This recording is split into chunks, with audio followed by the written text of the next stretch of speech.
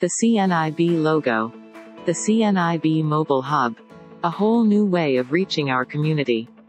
Throughout this video, footage is shown of CNIB staff and participants talking, testing out assistive technologies, and trying adaptive sports techniques at a CNIB Mobile Hub event.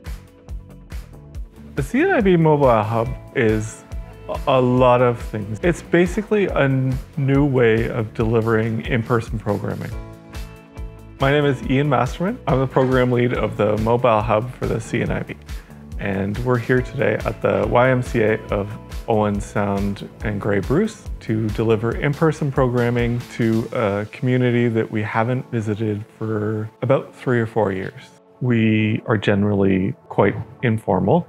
We do a lot of activities, have something to eat, to drink. We always make sure that people leave with as much information as it's possible to give them in a short amount of time.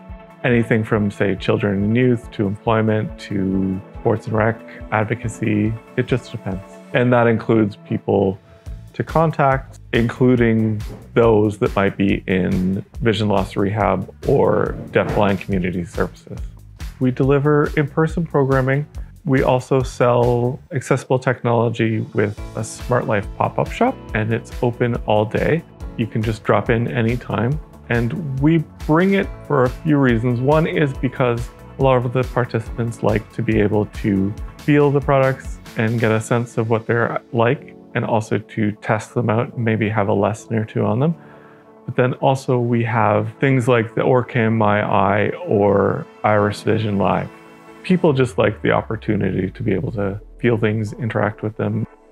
The mobile hub is important for a lot of reasons. It's a chance for us to connect with people in their community and to become a part of that community and even to create something new.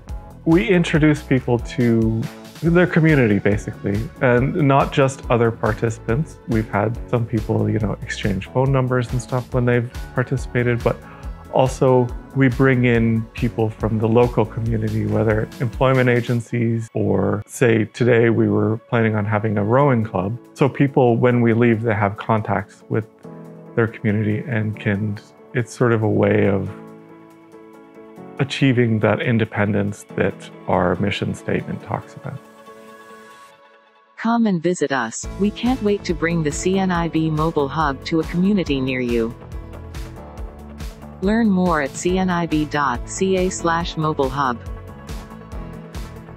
The CNIB Mobile Hub has been made possible thanks to generous resilience funding from the Ontario Trillium Foundation.